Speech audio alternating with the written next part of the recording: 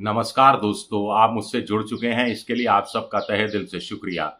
और अगले आठ दस मिनट में आपसे जुड़े रहने की कोशिश करूँगा।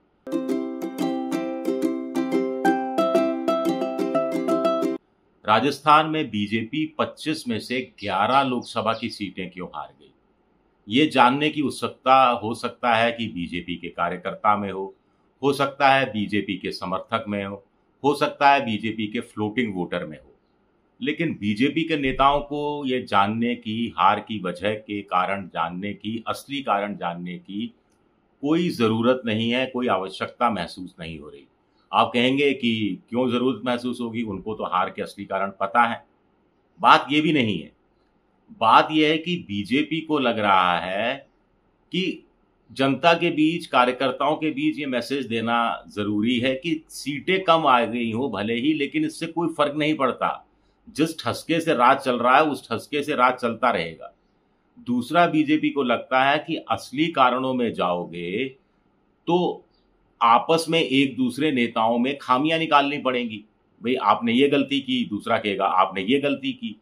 तो इससे ब्लेम गेम शुरू हो जाएगा, आरोप प्रत्यारोप का सिलसिला शुरू हो जाएगा, और ऐसे में पार्टी का कोई भला नहीं होगा किसी समस्या का कोई समाधान नहीं निकलेगा। उल्टे नए सिरे से खेमेबाजी नए के सिरे से धड़ेबाजी नए सिरे से एक तरह से एक दूसरे के प्रति व्यक्तिगत खुंदक लोग पाल लेंगे।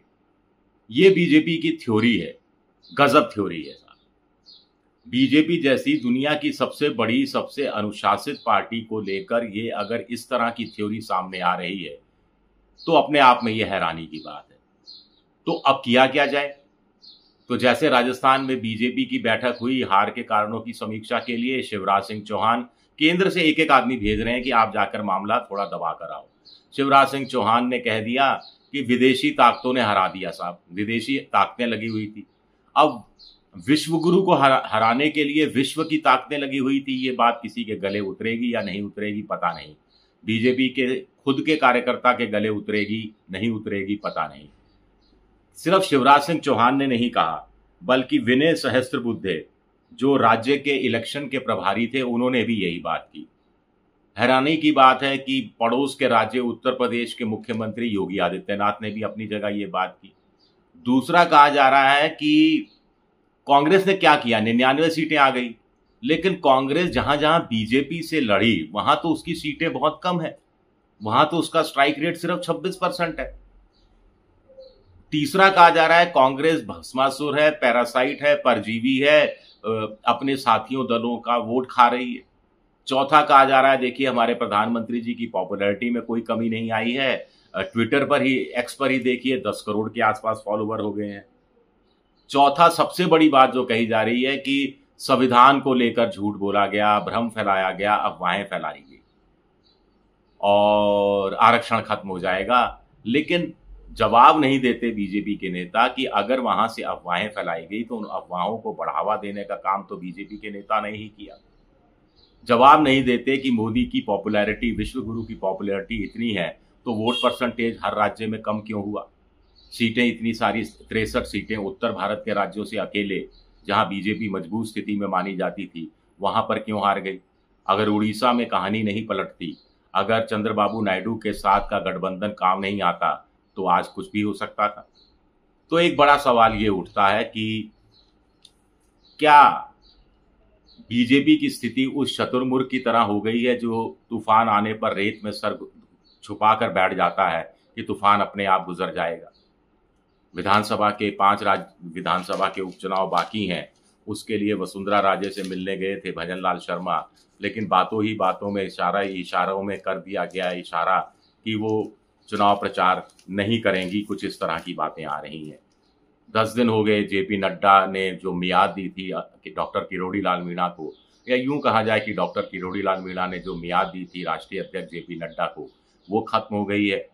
लेकिन ना तो डॉक्टर किरोड़ी लाल मीणा ने अपना इस्तीफा वापस लिया है, ना ही मुख्यमंत्री ने उनका इस्तीफा स्वीकार करके राज्यपाल के पास भेजा है। उल्टे पूरे विधानसभा सत्र के, बजट सत्र के दौरान वो सदन में उपस्थित नहीं रहेंगे, इस बात की मंजूरी उन्होंने ले ली है। यानी मामला कहीं भी सुधरता हुआ दिखाई नहीं दे रहा। पिछले दिनों मुख्यमंत्री भजन लाल दिल्ली थे, जेपी नड्डा से बात हुई, फिर डॉक्टर किरोड़ी लाल मीणा का किस्सा छिड़ा, लेकिन कोई पॉजिटिव बात हुई नहीं। ऐसा लगता है कि पार्टी ने भी अब ये सारा कुछ डॉक्टर किरोड़ी लाल पर छोड़ दिया है। उनको लग रहा है कि भावुक नेता हैं और जनता भावुक नेताओं को एक हद तक पसंद करती है, बाकी आक्रामक शैली वाले नेताओं को पसंद करती है। तो हालाँकि जुझारू नेता हैं कि डॉक्टर किरोड़ी लाल मीणा, उनको क्या मनाने की अब कोशिशें बिल्कुल छोड़ दी गई हैं? या डॉक्टर किरोड़ी लाल मीणा ने अपनी तरफ़ से कोई डेडलाइन रख दी है, अपनी तरफ़ से कोई नई शर्त रख दी है?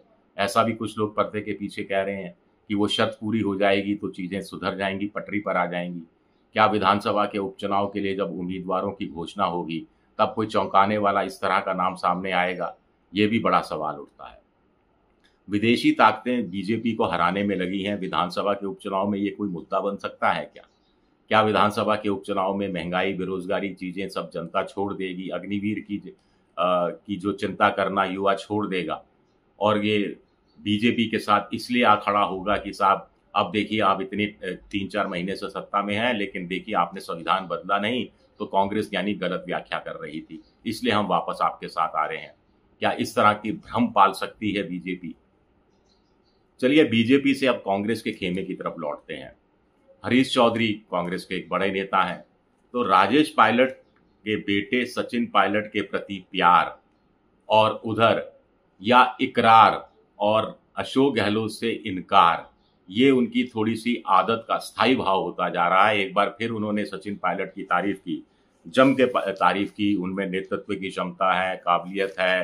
काबिलियत को मैं सलाम करता हूँ। मीडिया ने गलत छवि बनाई सचिन पायलट की।